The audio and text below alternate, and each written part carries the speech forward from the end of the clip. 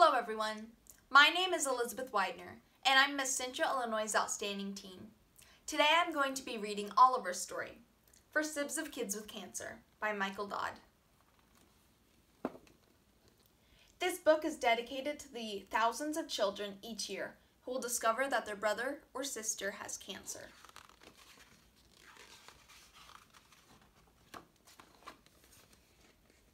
I remember when my sister had cancer. It was last summer.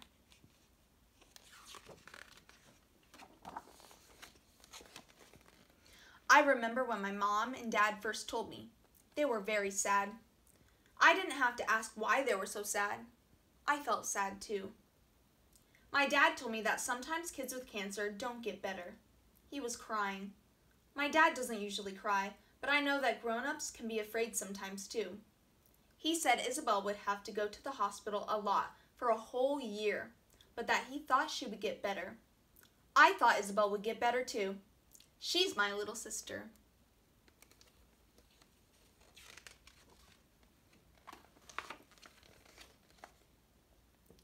We went to Grammy and Grampy's house to see my cousins and friends. Grammy called this Isabel's celebration of life. My mom and dad said that my smile made them feel better and would make Isabel feel better too. My mom gave me five whole dollars to buy candy for me and all the kids. First, I tasted the candy. Then I said a prayer for Isabel.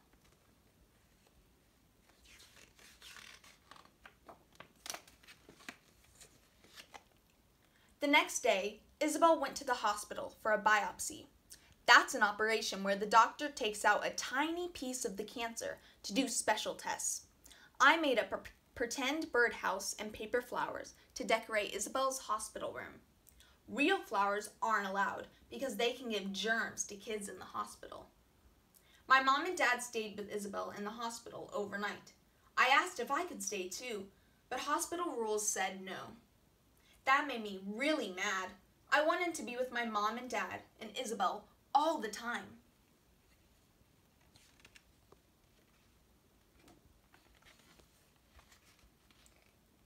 Grammy and Grampy came to stay with me at my house. Grampy slept in my room the most. Grammy said that's because me and Grampy snore a lot. I didn't feel so lonely when Grampy was in my bedroom. I did a lot of fun things when Grammy and Grampy came to stay. Grampy took me fishing, and he took me and my best friend Mark to play miniature golf.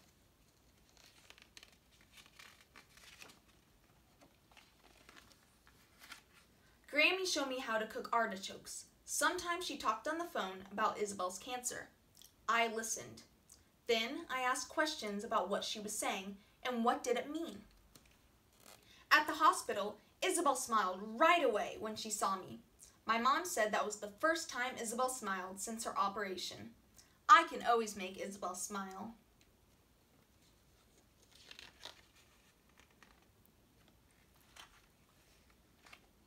At first, Isabel was really scared of the nurses, but the nurses were always nice to me.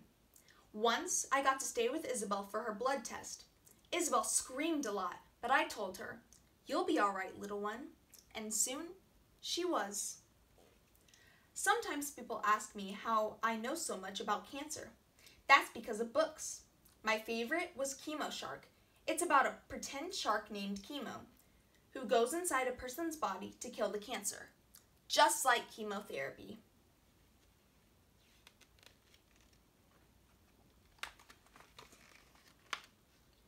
The only bad thing about chemo is that he can make people feel tired and throw up and make their hair fall out.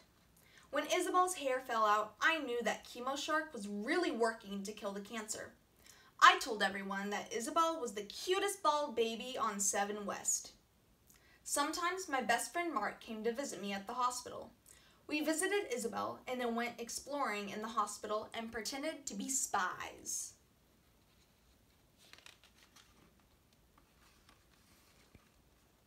I wanted to ride in the bike-a-thon to raise money for cancer, but my dad told me that kids weren't allowed.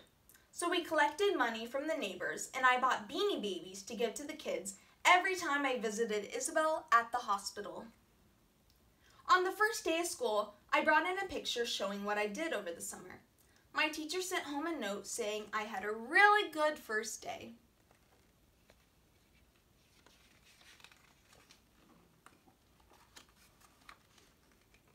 I saw two kids from school at the hospital a lot. Julie's sister had an organ transplant, and Chrissy gets physical therapy. On Fridays, me and Julie ate lunch with a counselor named Mrs. Burlingham.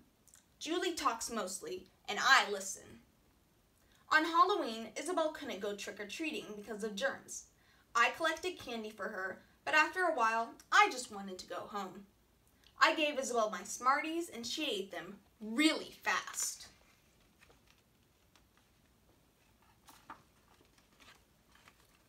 Before Thanksgiving, Isabel had her big surgery to take the cancer out. It lasted from morning until night. I stayed the whole time. Lots of people came to visit. It was my job to show them the hospital. I had to wait two whole days to see Isabel after her surgery. She was in the ICU. I said, Hi, little one, and she smiled at me, but only with her eyes.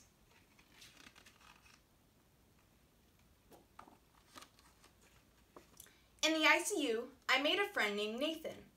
Once, we had a sword fight until the nurse said no. I played with Nathan every day until Isabel went home. Isabel got radiation treatments every day until Christmas. That's when they shoot x-rays inside someone's body to kill the cancer. Once, I stayed home from school to see the radiation machine. When it was Isabel's turn to get radiation, I told her, Don't worry, little one, there's no ouchies.